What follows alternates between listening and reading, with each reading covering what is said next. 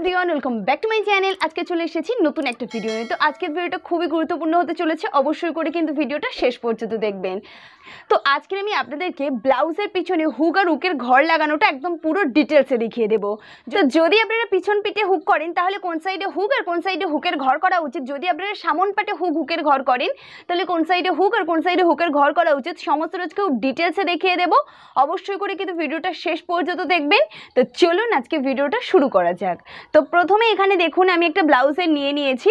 তো এইটা আমার আছে পিছন পাটে হুক হুকের ঘর করতে বলা হয়েছে। তো আপনারা চাইলে সামন পাটেও হুক হুকের ঘর করতে পারবেন। তবে ঠিক যেমন প্রসেসে দেখাবো, ঠিক সেম প্রসেসে আপনারা সামন পাটেও করতে পারবেন, পিছন পাটেও করতে পারবেন। তো প্রথমে এখানে দেখিয়ে দিই, আমি এখানে দুটো পট্টি কেটেছি, একটা হুকের জন্য পট্টি আর একটা হুকের ঘরের জন্য পট্টি। তো এই দুটোর মাপ কত আছে সেটা আমি প্রথমে বলে দিচ্ছি আপনাদের। তো এই যে পট্টিটা আমি ধরে আছি, এইটা হচ্ছে আমাদের হুকের পট্টি। তো হুকের পট্টিটা এখানে আমার আছে, দেখুন, দুই ইঞ্চি চওড়া নিয়েছি আর লম্বাটা অবশ্যই আপনাদের মেন পিঠের যে মাপটা থাকবে তার থেকে যেন বড় হয়। দেখতে পাচ্ছেন, এইটুকু আমার পিঠের কাপড় আছে। তো এর থেকে আমি মিনিমাম এক ইঞ্চির মতন বড় রেখেছি। এটা হচ্ছে আমাদের হুকের তো এখানে দেখে নিন, আমি এখানে লাইলিনের কাপড় আর মেন কাপড় দুটো কাপড়ই নিয়েছি। আপনারা যখন হুক হুকের ঘর করবেন, অবশ্যই কিন্তু দুটো কাপড় নেবেন। তাহলে যেটা হবে, খুব মজবুত হবে হুক হুকের ঘরের জায়গাটা। আর এই যে পট্টিটা আছে, এটা হচ্ছে আমাদের হুকের ঘর হবে। তো এখানে কত মাপ আছে সেটা আমি বলে দিচ্ছি। তো এখানে আমার চওড়াটা আছে আড়াই ইঞ্চি। আর লম্বাটা এখানে দেখুন সেমভাবে আমি কিন্তু মেন কাপড়ের থেকে একটু বড় নিয়েছি, যাতে আমরা এটা মুড়তে পারি। আর এখানেও দুটো কাপড় আছে, একটা লাইনিংয়ের কাপড়, একটা মেন কাপড়। তো এবারে প্রথমে জেনে নিন যে হুক হুকের ঘরের পট্টি বসানোর আগে প্রথমে এখানে আমি এটাকে খুলে নিচ্ছি। এখানে দেখতে পাচ্ছেন আমার এটা হচ্ছে ব্যাক পিট তো আপনারা চাইলে সামন পাটেও কিন্তু করতে পারেন। আমি বারবার বলছি, আপনারা দু সাইডে করতে পারেন। তো এখানে আমি প্রথমে আপনাদের দেখিয়ে দিই। তো এখানে দেখুন আমার গোল পিঠ আছে। তো এখানে পিঠটা অনেকটা বড়, ওই জন্য আপনারা ভালোভাবে দেখতে পাচ্ছেন না। তো প্রথমে বলে দিই, যারা এখানে লাইলিন বসাতে চান মানে লাইলিন বসিয়ে আপনারা এখানে গলা পট্টিটা বসাতে চান। অনেকে আছে কি, গলা পট্টি আলাদাভাবে বসায় যেগুলো সুতির হয়। আর অনেকে আছে এখানে কিন্তু লাইলিন বসিয়ে নিতে চাই, অথবা এখানে যে লাইলিনের কাপড়টা দিয়ে যেটাকে উল্টে এখানে পট্টি বসানো হয় তেমনভাবে বসিয়ে নিতে চাই। আবার অনেকে আছে ডিজাইন করে পিট করে ডিজাইন করলে তাহলে এখানে পেপার পেস্টিং বসিয়ে নেই। তাহলে কি হবে? এখানে কিন্তু আমাদের কোনো পট্টি বসাতে হবে না।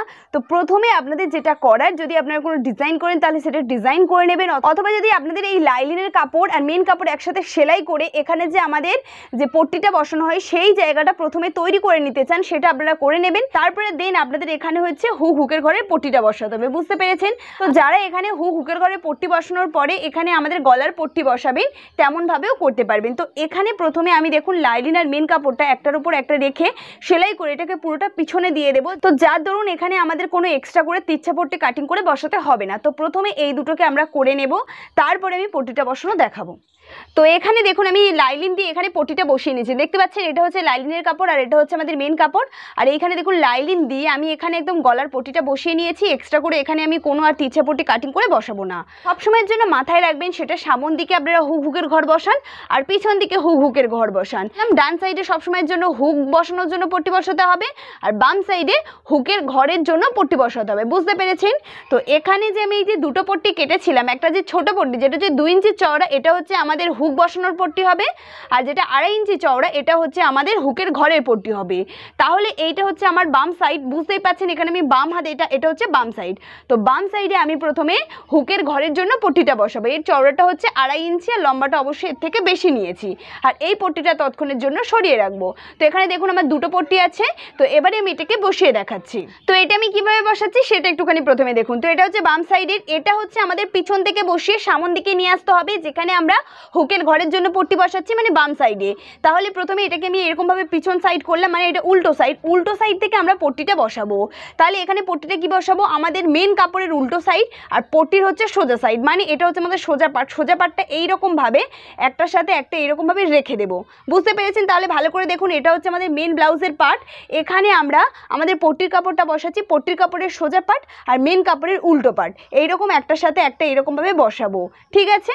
ভালো করে এরকমভাবে বসিয়ে নিলাম। আর ওপরের সাইডে দেখুন, এরকম ওপরের সাইডে এক্সট্রা যে কাপড়টা সেটা ওপরের সাইডে চলে আসছে। আর এখান থেকে দুশুত করে গ্যাপিং দিয়ে সেলাই দিয়ে দেবো। কেননা আমরা দুশুত করেই এক্সট্রা রাখি, যখন আমরা ব্লাউজটাকে কাটিং করি। তো এবারে দুশুত করে বরাবর সেলাই দিয়ে দেবো।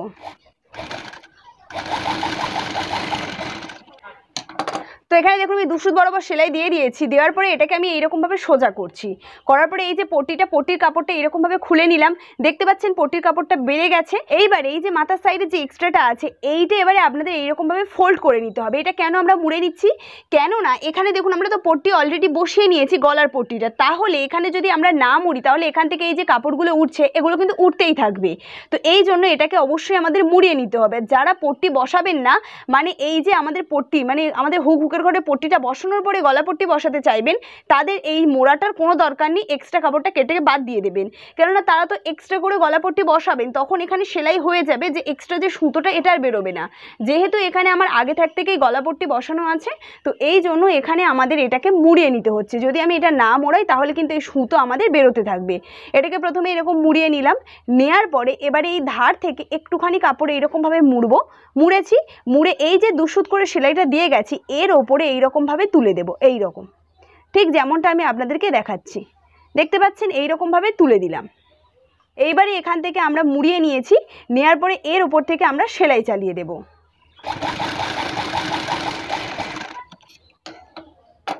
তো এরকমভাবে দেখুন, একটা সেলাই চালিয়েছি।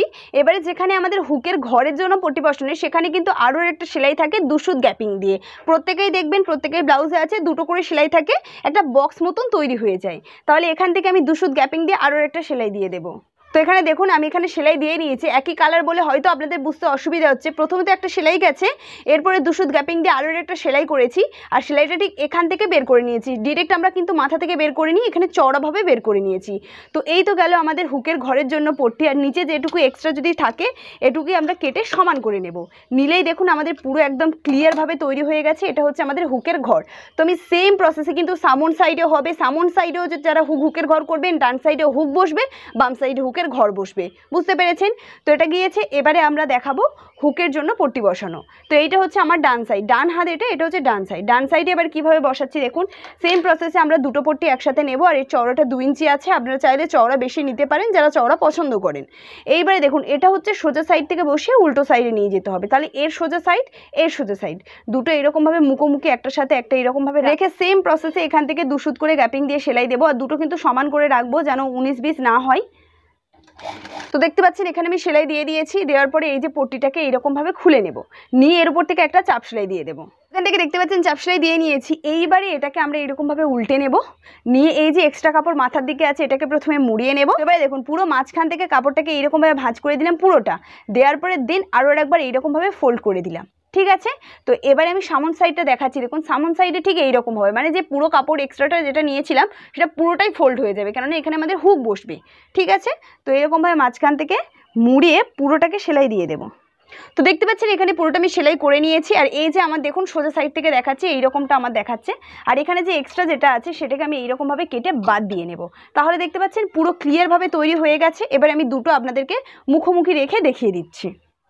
ঠিক দেখুন, একটার উপরে একটা এরকমভাবে রেখে দিলাম। দেখতে পাচ্ছেন? এটা হচ্ছে আমাদের হুকের ঘরের জন্য আর এটা হচ্ছে এখানে হুক বসবে। তাহলে একটার উপর একটা এরকম থাকবে। যেটা হচ্ছে হুকের ঘরের জন্য এক্সট্রা ছিল, সেটা নিচের দিকে চলে যাবে আর যেটা হুক, সেটা এরকমভাবে ওপরের সাইডে চলে আসে।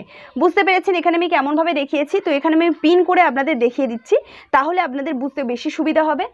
তো এখানে দেখুন, আমার পুরোটা কমপ্লিট হয়ে গেছে। পিছন দিক থেকে দেখতে পাচ্ছেন? এইরকমটা দেখাচ্ছে। তো আশা করব আপনারা পুরোটা বুঝতে পেরেছেন। আপনারা যদি সামন সাইডেও করতে চান সেম প্রসেস ডান সাইডে হুক, বাম সাইডে হুকের ঘর। সামন হোক পিছন হোক একই প্রসেস থাকবে। আশা করব আপনারা পুরোটা বুঝতে পেরেছেন। আর যদি ভিডিও ভালো লেগে যায়, তাহলে লাইক করতে একদমই ভুলবেন না। আমার চ্যানেলটিকে সাবস্ক্রাইব করে নেবেন। আর আপনারা আমাকে কমেন্ট করে জানাতে পারেন, আপনারা কোন টপিকে ভিডিও দেখতে চান, আপনাদের টপিক নিয়ে চলে আসব। তো আজকের জন্য এই পর্যন্ত। টাটা!